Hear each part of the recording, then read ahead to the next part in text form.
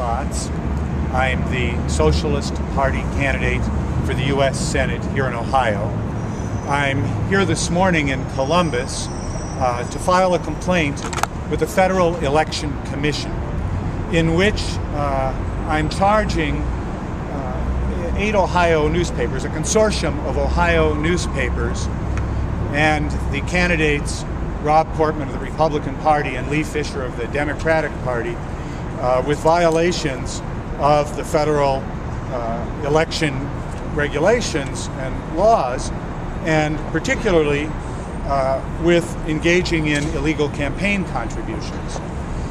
This complaint is based on the fact that uh, these newspapers and these candidates have joined together to organize a series of debates, and they have, in which only the Republican and Democratic Party candidates uh, will appear.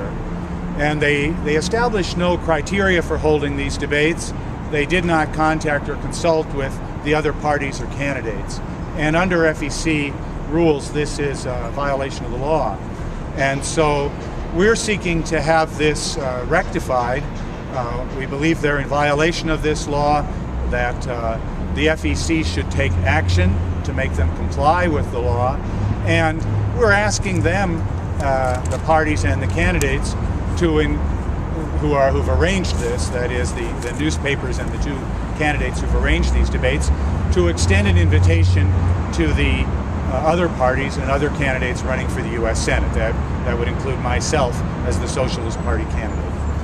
And uh, so that's why we're here today, and uh, we think this is a very important issue. Uh, it's, it's quite wrong when uh, corporations, including media corporations, enter into collusion with the two major parties and their candidates to create debates which exclude other points of view.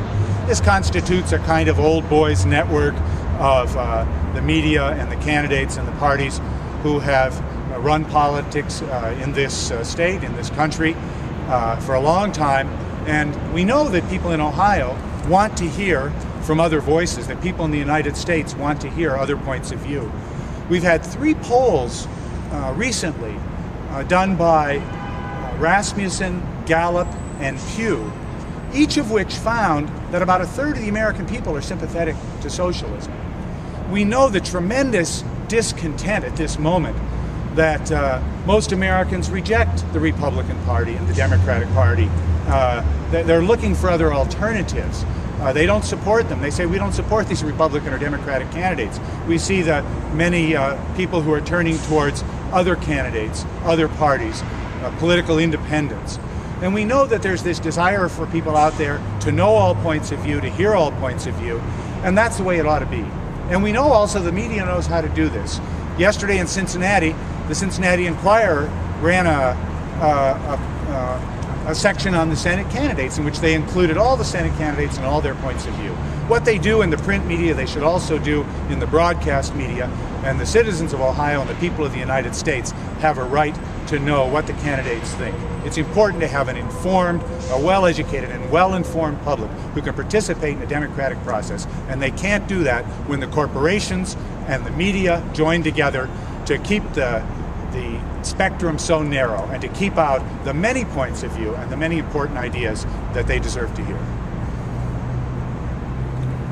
Is your hope to have the FEC uh, sort of order that you be allowed to participate in the debates, or is it your hope that the parties will sort of relent on their own? Well, I guess I think it would be best. I would be most pleased if uh, uh, if Rob Portman and Lee Fisher and the uh, newspapers uh, were to were to say, yeah, let's bring these people in. That's the right thing to do. I would be most pleased to see democracy work and to see American democracy work, where uh, where we. Uh, you know, we could see people really have a voice. That would be the best decision, I think, to see these people say, "Yeah, we made a mistake here. We should have included these people." The other, the other thing is, um, I think it would be um, if that doesn't work, then I think the FEC should issue a, a recommendation and, uh, if possible, an order uh, saying that I should be included in these debates and to go to court and have the court uh, intervene to make that happen if the parties don't accept that. Uh, I think that uh, the Cleveland City Club, where one of these debates will be hosted, calls itself the Citadel of Democracy. I think the Citadel of Democracy should say democracy means let all points of view be heard. And I'd like to see this, the Cleveland City Club board come out and say, you know, uh, that's right, that's the right thing to do. But if it doesn't happen, I hope the FEC and, the, and if necessary, the courts will act to make sure that the people of Ohio have a right to hear uh, all points of view in the Senate debate. Uh, traditionally, the argument against including third-party or non-major party candidates uh, debate uh, or forums like this is that they haven't demonstrated enough support to, you know, show they have the ability to win, and that including, you know, uh, essentially voices of people who can't can't win excludes the uh, or or diminishes the opportunity for voters to hear from the, uh, the other candidates. Do you feel like your campaign has developed or, or demonstrated, you know, the kind of support that you know would necessitate you being included? Well, I don't think I don't think that the people who are excluding us have any basis to say that we have not demonstrated that. That is, they never established any criteria that says this is the basis on which people participate in the debates. That's the basis for this legal charge, their failure to do that. Now, the other thing is, I look at all the polls in the country, including in Ohio, and you see these very high numbers of people who reject the Republicans and the Democrats. So if they're rejecting the Republicans and the Democrats in such high numbers that says they don't like either one of these parties, they don't think these polls that say, are they doing a good job? They say in, in very high numbers they're not doing a good job. Well, that means they're looking for other alternatives. So in the general, and as I already mentioned, we have these three polls by very reputable polling groups with quite different kind of uh, perspectives. That is Rasmussen, Pew, and Gallup, and they say that a third of the American people are sympathetic to socialism.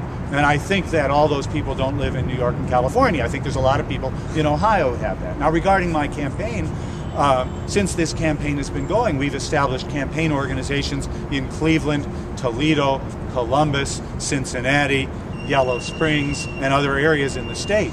We're right now traveling around the state to college campuses. And we, we're on the college we were on the college campuses in the spring, and we're now going back, and we're going to have support groups on all those college campuses. Um, we are we've raised a modest amount of money. In part, that reflects the fact that this is a uh, grassroots campaign that doesn't have corporate sponsorship. We don't want corporate sponsorship. We want sponsorship from uh, from small contributors who are ordinary uh, citizens in Ohio or other places who want to support uh, a socialist uh, candidate. Uh, but we, we think that this is, I personally think that this campaign has a following here in Ohio that will know the base, will know how much following it has on election day. Mark, Jesse, Jesse Ventura, remember back there from back in the 90s? Then my attorney, Mark Brown. He, um, he had less he had less than 10% when he when he was first allowed in the debates. And of course he ended up winning the, the election with 37%. It was a plurality. So you went from 10 to 37 percent. Yeah, he, proved, he proves that small numbers can become big numbers if you're on the road in Ohio and continuing to uh, fight for our rights here and to make sure that uh, I and other candidates, this is not only important for this election, this is important for future elections in Ohio. Thanks a lot.